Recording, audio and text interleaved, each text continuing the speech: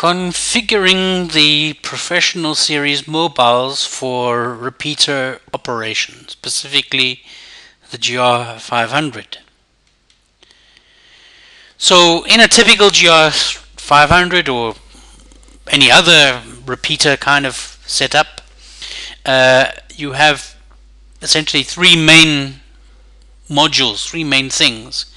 Obviously I haven't shown here things like the duplexer and the power supply and the fan just to keep things simple.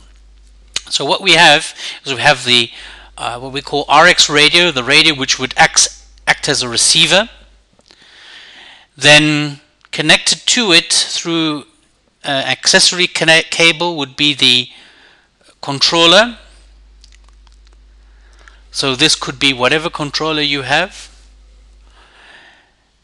Then we have the TX radio.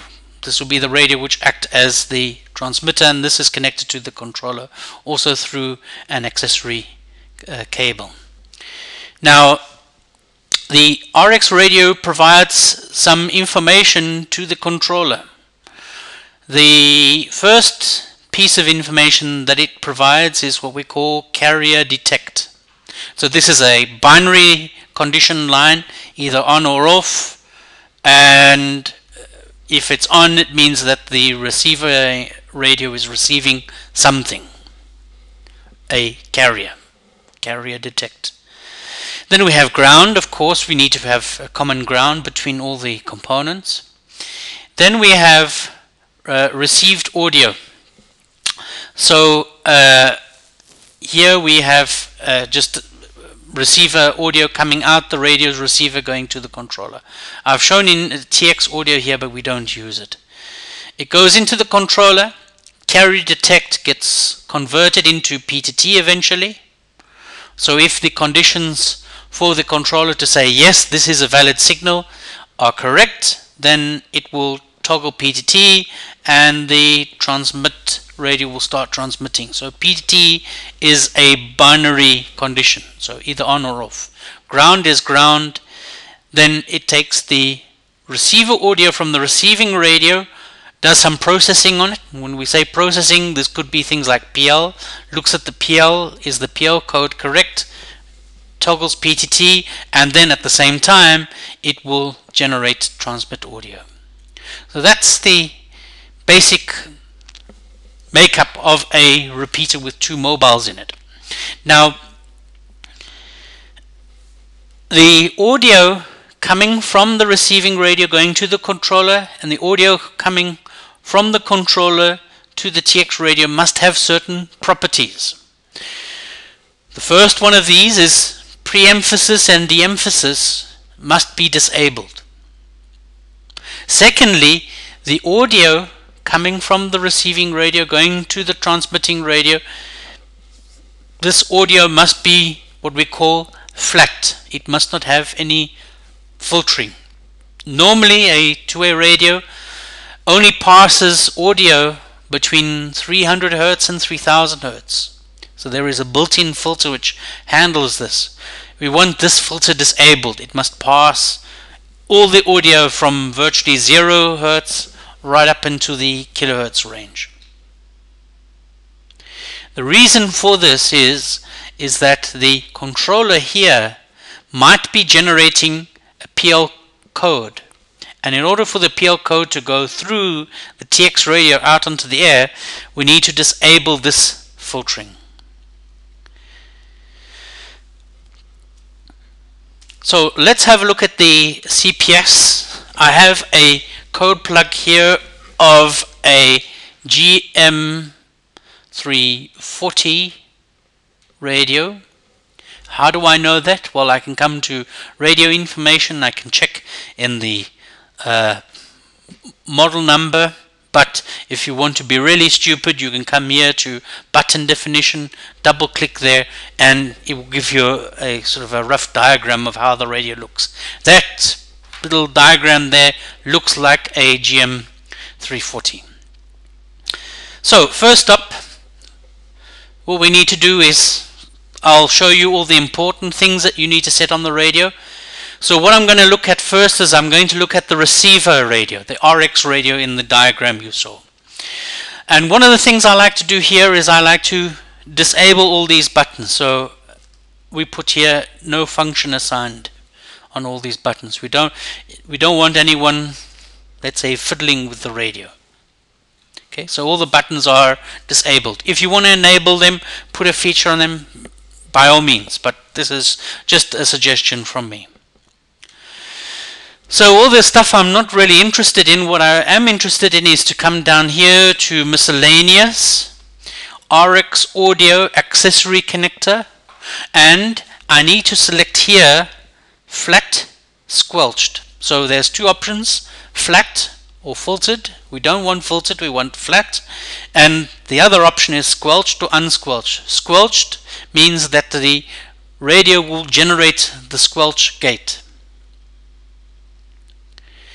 The next thing you need to tick here is ignition sense. Now, if you're going to be using a professional series mobile radio in a GR500, one of the things that you need to do is on the radio, there is a modification that you need to make. You need to bring pin 10 to plus 12 volts.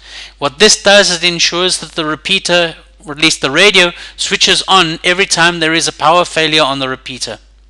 Normally, if there is a power failure and you haven't enabled ignition sense and you haven't wired pin 10 of the accessory connector to plus 12 volts, what will happen is is that when the, the repeater loses power, comes back up again, you manually have to switch on the radios. So this is not really desirable, so what we say is enable ignition sense and wire pin 10 into plus 12 volts. Now if you're going to be using a GR500, more than likely you're going to be using the RIC controller, which is the very basic controller. This has a spare accessory socket on the back. It's called accessory and you can simply wire pin 10 of that accessory connector into plus 12 volts. In the GR500, where you get the plus 12 volts from? My suggestion is get it from the fan supply line. So just tap into the fan supply line, put some heat shrink over the joint, and you're sorted. Okay, some further things that you want to go and adjust.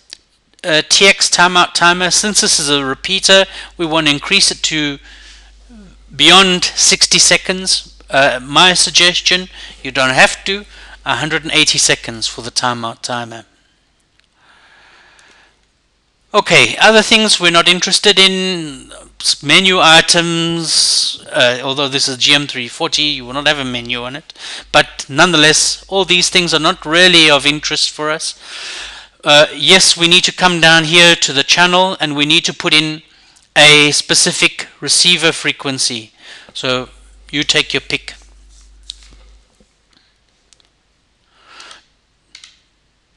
Okay, PL, DPL, we don't program in that here, although you can.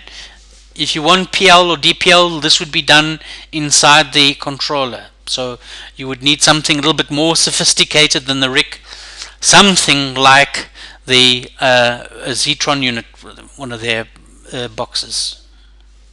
Okay, so the PL, you can set some PL here, but the recommendation for me is to use a external controller to handle the PL processing. Okay, so there are some other things here which I'll come back to shortly. Um, per personality, here I need to come and define some things. So uh, TX admit criteria, we need to make sure that this is set always allowed. We always want the repeater to transmit. This is the receiving radio. Why do we set TX things on a receiving radio? Well, what you will see and what I'm doing is I'm configuring this radio so that this radio here can act either as a TX radio or as an RX radio. So if you have, let's say for example, a power transistor blow on the transmitting radio, simple, go to the site, swap the radios around. 10 second exercise. Squelch, carrier squelch, you need to set that there. Miscellaneous, nothing of interest there. Audio, pre-emphasis, de-emphasis, disabled expand disabled low level expansion disabled this is very important. If you don't get these settings right you'll have problems with audio. Audio distorted muffled tinny all these sort of strange audio complaints are all related to these settings here. Uh, select 5 encode decode I'm not really interested in. Now I need to now go and set up the accessory connector on the radio. And that is done here GPIO lines. General purpose IO lines. Now on the back of the mobile radio there are some pins on the back which can be uh, assigned to do certain things. So there's the pin number. This relates to the pin number on the accessory connector. How do you know which pin is which? It's in the service manual. So to make things easier what they've done in the CPS is they've given you a, a drop down at the top here uh, accessory package rack RIC or uh, i20R which is a device we don't make anymore but uh, RIC TX so let's say we're going to do the RX radio we're going to say okay that's the pins that it uses there. So uh, okay this is a bit strange. PL DPL detect active level low is on pin 8 if we select the TX radio where it, it tells us pin 3 active level low is on is for uh, voice PTT. Now, that you can do that. That's quite fine. But what I like to do is just leave it as a general I/O package. Have pin 3 as voice PTT and active level low, and have pin 8 as okay. You can use PL DPL detect if you have a PL on the channel or you're going to be using like guard tone or if you're simply going to be using carrier squelch you would set that line to be carrier detect active level low. Now since pin 3 is an input it has this debounces grayed out. So again this is your debounce protection you can put it in if you're going to be using the RIC the RIC has got a transistor inside, so there's no worries about a bad relay contact or bad switch contact. So you can you can take that away. But if you're connecting the radio into an external controller which uses a mechanical switch to handle things like PTT, then you need to enable debounce. Debounce is a good thing to have. The, the debounce protection duration is, uh, in this case, 100 milliseconds. So I'm going to leave it off. That's quite fine. Okay, so what have we done here? We've uh, enabled, as you recall, the RX audio. We've defined the GPIO lines. We've disabled expand pre-emphasis and low-level expansion. And we've defined the frequencies. Now that's all you require and you can program that into the radio and it will work. However, there are some tweaks that you can do. For example, if the repeater is in a very high interference situation, so lots and lots of repeaters, lots of antennas on the site, a real mess. One of the things you can try and do on the particularly on the receiving radio is to enable this feature base station. What this does is that it um, it reduces the gain in the IF stage of the receiver. There are two effects. Firstly, unfortunately, the sensitivity goes down slightly. More importantly, you get about a 10 dB improvement in the intermodulation rejection of the receiver. So the receiver is more able to filter out unwanted signals. In the old days of the, the GM300, the old Radius products, uh, we had that function local DX.